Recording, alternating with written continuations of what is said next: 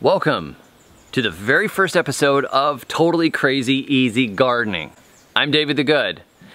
Today I'm going to start with something really weird because that's just the way I roll. Look at this.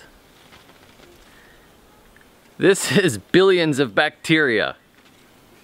I made a sludgy bacteria water on purpose to feed the plants. Now, how did this come about?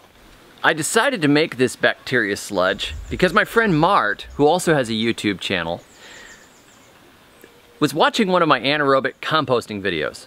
I did a video a week or two ago about anaerobic composting and how I take moringa and manure and compost and all kinds of stuff and put it in a big barrel like I write about in my book and then I feed my plants with it. That's why this corn behind me looks so amazing. So he sends me this thing where the Koreans are using a method called Jadam organic farming. And what they're doing is they're taking leaf mold from a healthy hillside and they're taking some boiled potatoes and they're putting it in water with a little bit of seawater to breed up those leaf mold bacteria and other microorganisms and feed their gardens. So I thought, this is cool. But what actually happens is the bacteria get into the soil, the fungi get into the soil, and they start chewing on the minerals there. They start chewing on the organic matter. They start freeing up stuff and manuring the soil on a microscopic level and getting your plants going crazy. So I thought, I like this idea. I'm gonna get some leaf mold and I'm gonna do it. Well, the thing is, that where I am, I'm not close enough to the ocean at the moment to go and pick up a few gallons of seawater. So I got a couple of gallons of urine and used that instead. Yeah, it's similar, right? And I also didn't have potatoes here because I live in the tropics and Idaho potatoes are really just not the thing. So I took a boiled breadfruit, ground it up in the blender, and I added that. And then I went and I got some leaf mold off the mountainside under some healthy looking trees and I crumbled it up into the water. And now I have this. So what I'm gonna do is take this and apply this to some of my crops. And then we can come back in a week or two and see which ones are doing better. I'm gonna do it on some of the crops, but not all the crops. And we'll do a side by side and see if this method of breeding bacteria to feed the soil actually works.